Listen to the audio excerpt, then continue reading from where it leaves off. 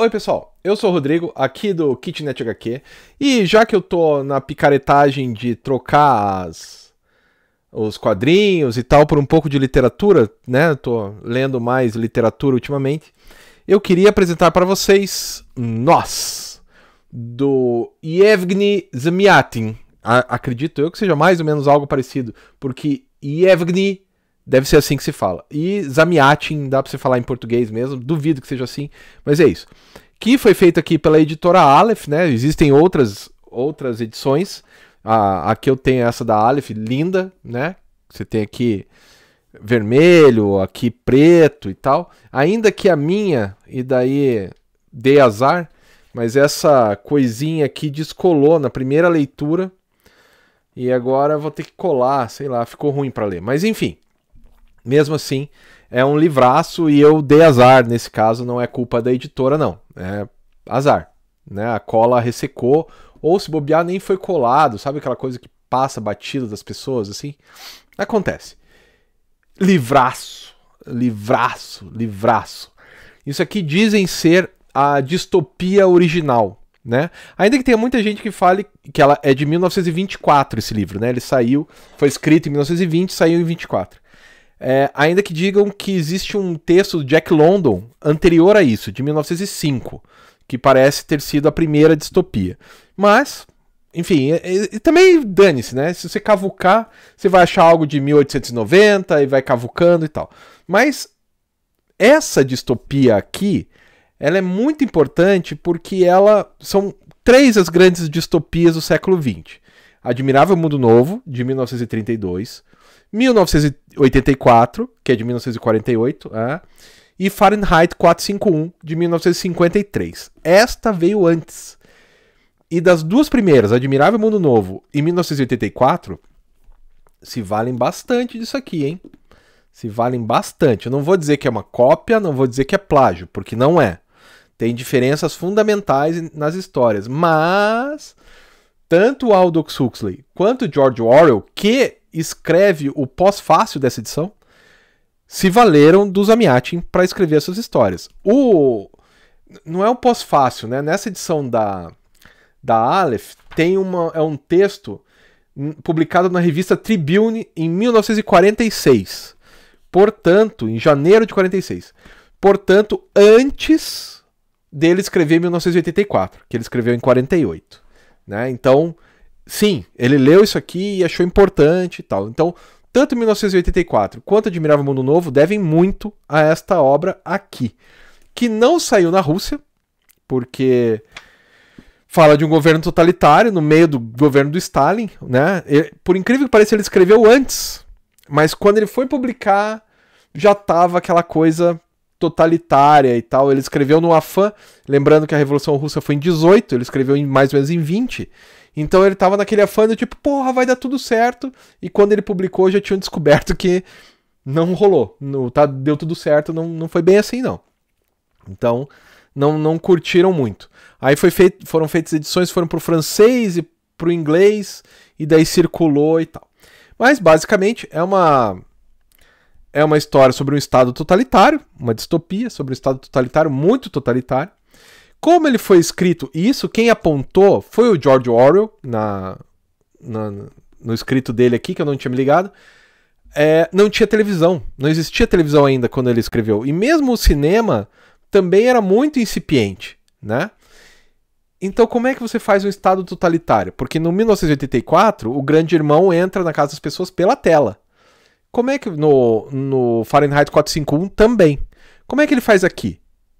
Aqui o mundo é de vidro. Todas as casas são de vidro. Todas as casas precisam ser de vidro. Tudo é aberto. Afinal, um cidadão de bem não tem nada a esconder. Então tudo é de vidro, com exceção de duas horas por dia, né? A hora que ele pode fazer sexo e mesmo o sexo é consentido, mas já explica um pouquinho. Ele é, é concedido pelo Estado, é, e uma outra hora para escrever, para fazer alguns outros afazeres que ele deseja, ou sair para passear e tal. Ele tem duas horas das 24 para não estar sendo vigiado. a hora do sexo e mais uma. Lembrando que a, a hora do sexo, neste livro aqui, é consentido pelo Estado, ou seja, uma mulher ou um homem, mas nesse caso aqui uma mulher vai lá, ela faz um bilhete e chega no estado e fala: "Olha, eu quero transar com o fulano". E daí o fulano aceita ou não aquele requerimento, devolve e ela pode ir para casa dele. E vice-versa. Se um homem quer transar com uma mulher, ele vai lá, preenche um requerimento, quero transar com fulana, vai no na instituição burocrática que seja, a instituição burocrática manda para essa mulher, a mulher assina que tudo bem, devolve para ele e então eles se encontram em uma hora, na hora tal, a hora tal. É isso, né? E essas pessoas não têm nome. Isso também é uma coisa muito interessante. Eles são números. O herói, o, o protagonista aqui, é o D503. Esse é o nome dele a parceira mais rotineira sexual dele, porque ela não é esposa, não é namorada, não existe um envolvimento emocional, é a O90. Então, assim, não existe envolvimento emocional, não existe nada. É só carnal mesmo. E os filhos não são gerados pelos casais. Os filhos são gerados por, uh, por inseminação artificial e tal. O sexo é apenas para aliviar as pessoas. Então, que só tem nome. O cara principal é o D503 e tem a O90 e a outra personagem que aparece depois é a I330, né? Que é uma mulher que vai bagunçar a vida do cara, bem parecido com Fahrenheit 451 e com o Admirável Mundo Novo. Mas então, ah, e o 1984 também. O alimento nesse mundo é feito à base de petróleo. Claro, que para isso só 0,2% da população sobreviveu. Mas tudo bem, né? O que, é acabar com 99,8% da população mundial? O mais importante é comer um petróleo. Isso. Ah, tudo isso que eu tô falando, pessoal, é bem o comecinho do livro, não tem spoiler nenhum. Nenhum aqui, não se preocupe. As eleições no estado totalitário não pode ter eleição. Mas tem eleições. E as eleições são chamadas de Dia da Unanimidade, no qual todas as pessoas vão lá e dizem que o benfeitor, que é o nome do, do presidente, assim, do chefe desse estado totalitário, ganha as eleições, porque ele está lá apenas para ganhar as eleições e as pessoas estão lá apenas para dizer, ok, ok, você ganhou, né? Então, assim, é um estado muito totalitário e, de alguma maneira, ele é totalmente controlado e violento, porque existem execuções sumárias, no qual a pessoa é liquefeita, sabe? Dá bzz, e a pessoa vira água. Pura, inodora, insípida, sabe?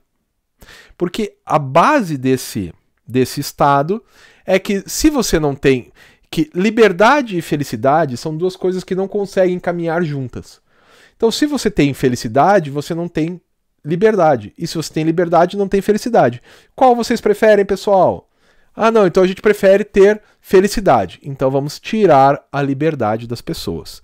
E nesse ponto, lembra de novo também muito ao Fahrenheit 451, né? Aquela coisa, por que, que as pessoas não leem mais livros? Porque elas não queriam. Foi uma escolha da sociedade. Né? Então não é um golpe de Estado que chegou lá e fez. Não. Ofereceram meio que uma escolha. Pilantra? Pilantra, mas é uma escolha. Então todos são felizes, muitas aspas aqui, todos são felizes porque não têm liberdade. Então a falta de liberdade confere a eles a, a felicidade. Tanto que. Quais são as doenças para eles? As piores doenças. A paixão é uma doença, imaginação é uma doença, a alma é uma doença. Ter uma alma, chega um momento assim que o personagem tá acontecendo umas coisas com o personagem, e daí ele vai no médico e ele fala: seu caso é grave, você está desenvolvendo uma alma. E o cara fica todo. É quase como se falasse: ó, oh, você tem câncer em estágio 4. É tipo, você tem uma alma. Né? Então, esse é o mundo do nós.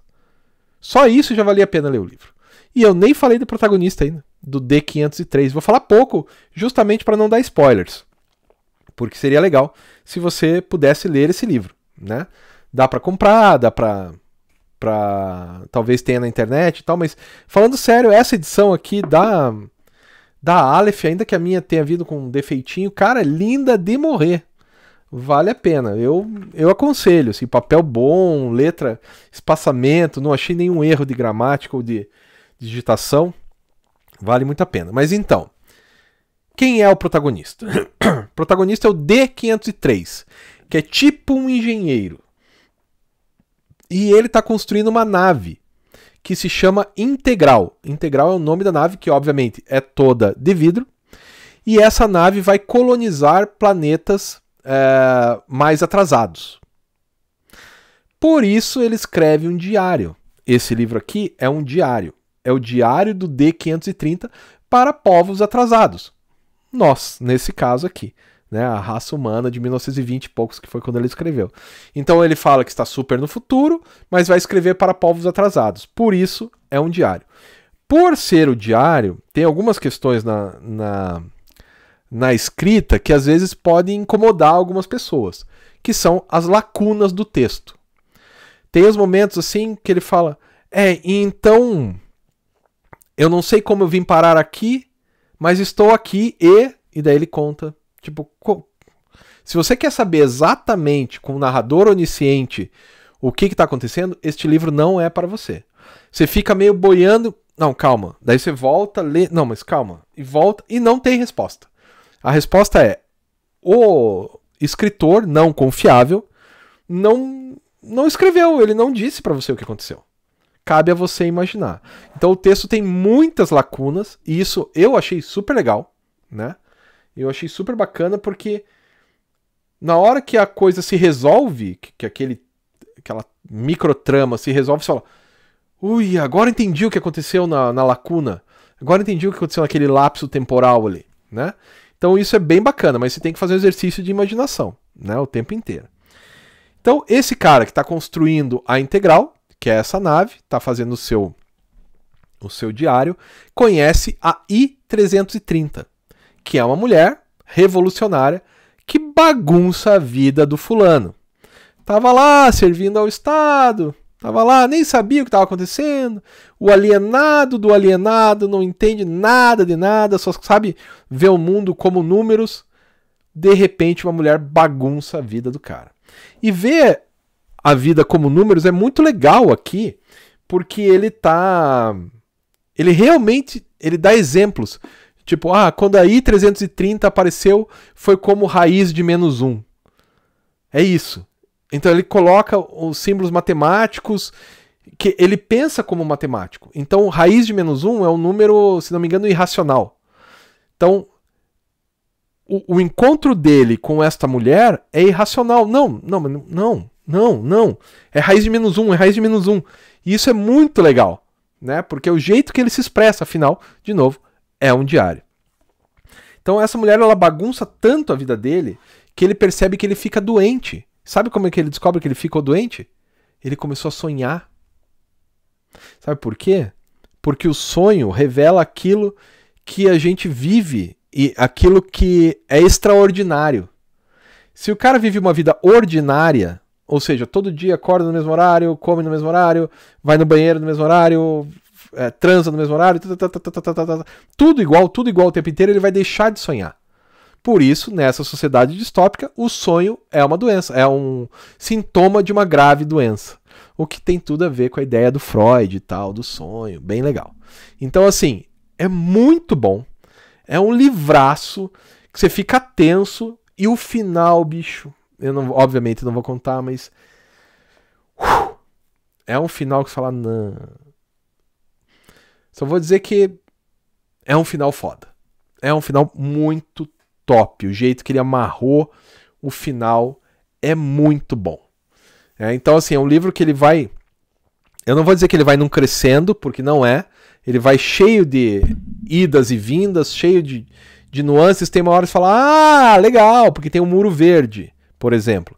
Muro verde que separa essa cidade, esse estado totalitário, da barbárie. E a barbárie são os bichos.